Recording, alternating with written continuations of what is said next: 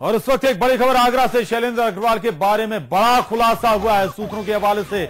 आज की बड़ी खबर, कई दर्जन महँगी गाड़ियाँ गिफ्ट दे चुका है शैलेंद्र अग्रवाल।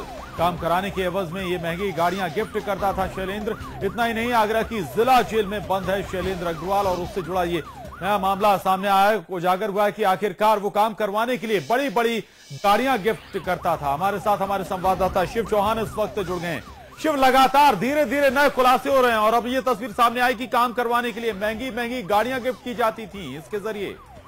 बिल्कुल प्रशांत बताना चाहूँगा पूर्व में भी कई बड़े खुलासे हो चुके हैं और आज भी एक नया खुलासा सूत्रों के हवाले से सामने आया है जिस तरह से शैलेंद्र अग्रवाल जालसाजी के आरोप जालसाजी में कई करोड़ रुपए का घोटाला कर चुका है। इसके एवज में ये अधिकारियों से काम कराने के एवज में जो आज आ, पता लग रही है कि ये कई दर्जन महँगी गाड़ियाँ खरीदने के बाद अधिकारियों को गिफ्ट के रूप में दे चुका है।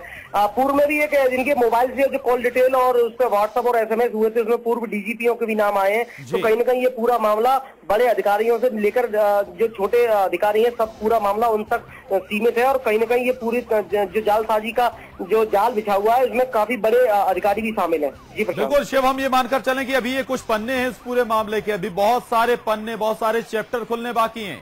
बिल्कुल जिस तरह से जाँच जिस तरह से गति पकड़ रही है जिस तरह से जाँच होती जाएगी तो अभी जाने अभी और भी जो जितने भी अधिकारी जो सामने नहीं है उनके भी चेहरे बेनकाब होंगे और कहीं ना कहीं अभी काफ़ी लोग इस पूरे मामले में भ्रष्टाचार के मामले में जालसाजी के मामले में लिप्त पाए जा सकते हैं। जी शुक्रिया शिव आपका इस पूरी जानकारी के लिए।